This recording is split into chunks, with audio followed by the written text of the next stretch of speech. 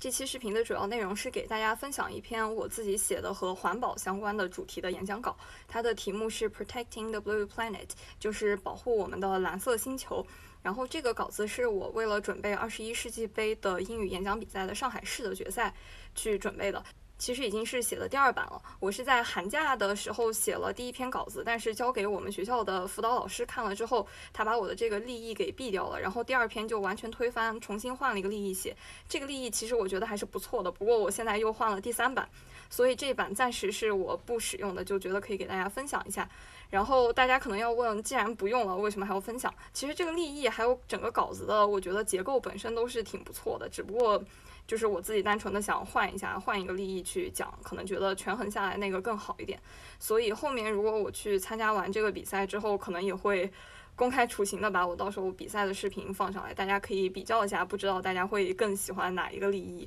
反正我自己最终是选择了第三个利益，所以今天就来分享这个第二版。因为我没有打算用这个稿子，所以自然也没有背，于是接下来就只能给大家毫无感情的念一遍。就是尽量有点感情吧，大家千万不要学习我在做英语演讲时候的感情，就即使是我之前发过的一些视频，因为我说话平时其实就比较没有感情，就是说话的音调一直很平，没有任何那种起伏的感觉。然后我的辅导老师也是一直对于我的就是遣词造句，还有包括临场反应都是觉得还可以，但是就就是在语音语调上面实在是欠缺太多，感觉就是一个没有感情的机器人。尤其是讲到这种环保这种本来应该很有那种。嗯，empathetic 那种，呃，就是跟人共情的那种感觉，但是我就是感觉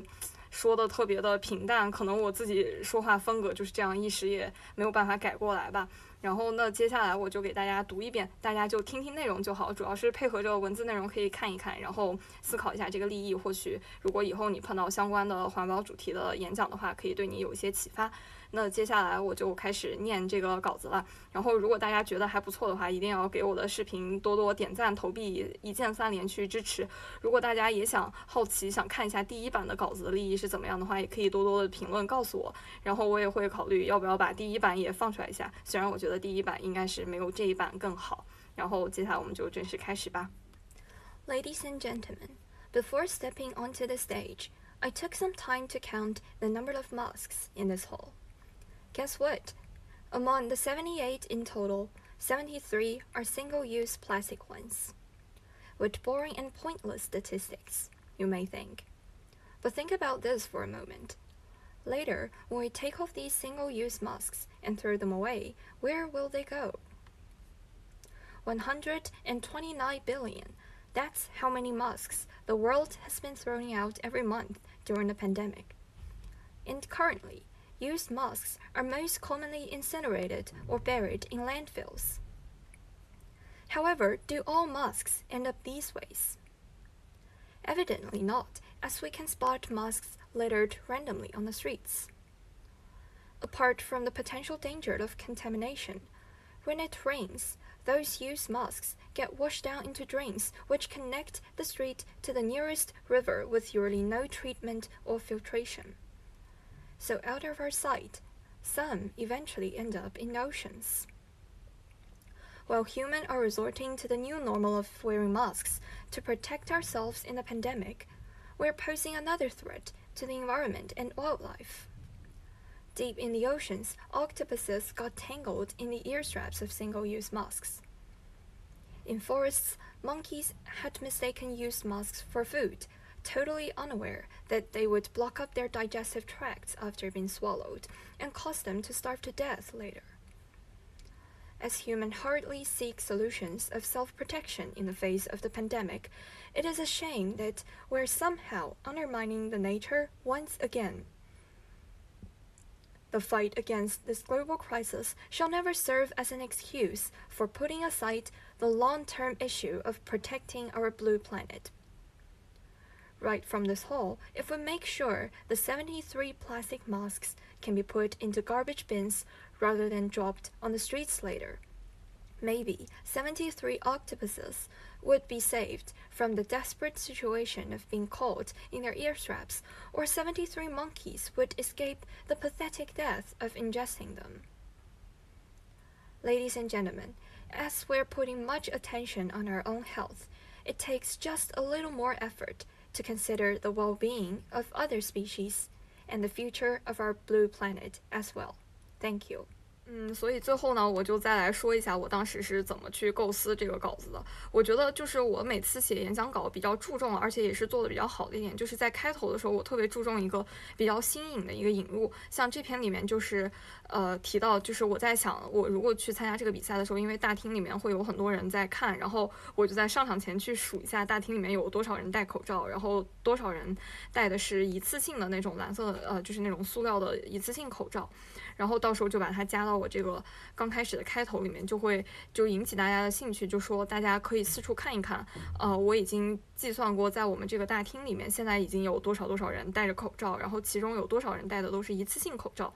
然后接下来就从这个嗯，感觉特别应景、跟疫情息息相关的一个现象，然后就是说到人们的这种在疫情中为了自我保护，然后又又再一次的去破坏了环境。因为其实这个疫情可以看作就是人类没有处理好和自然的关系，然后引起的一种。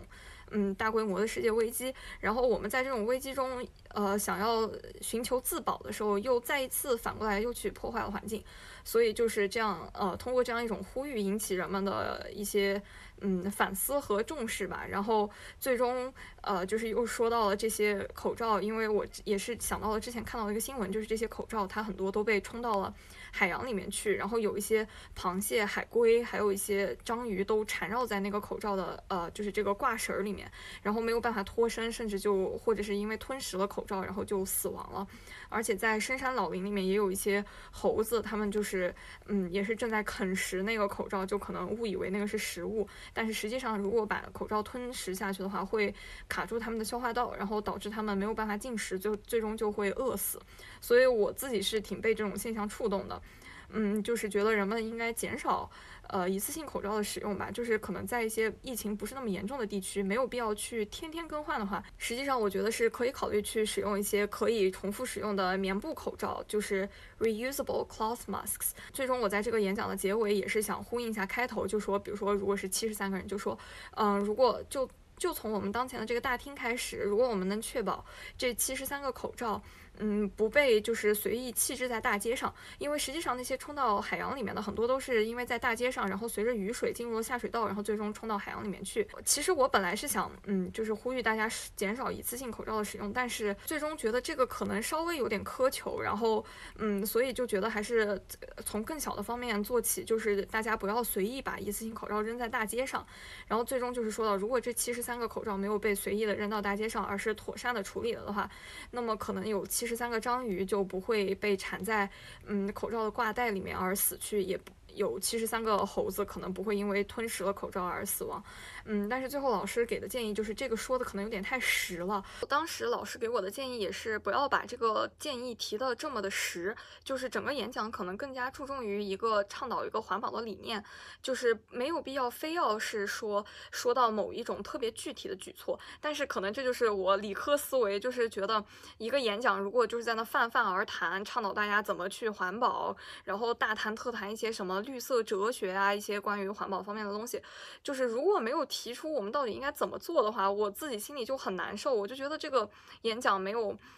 呃，反正我自己是这么一种思路，就是因为我自己也讲不出来一些很虚的东西，就是因为我也不太懂一些什么哲学 之类的东西。像跟我一块儿要去参加这个试赛的是我们当时学校比赛的第二名，嗯，是另外一个英专的同学，我就感觉他就非常擅长阅读这种一些文科的东西，一些嗯文献呀，或者是他就想谈论一些绿色哲学这方面的东西。但是我是真的就是彻头彻尾的理科思维，就我连那种文献都压根看不下去，我也。懒得上网找那种，尤其是上外网去读一些英文的相关的文献。本来这个环保这个话题，它在列上一大堆数字，也还蛮枯燥的。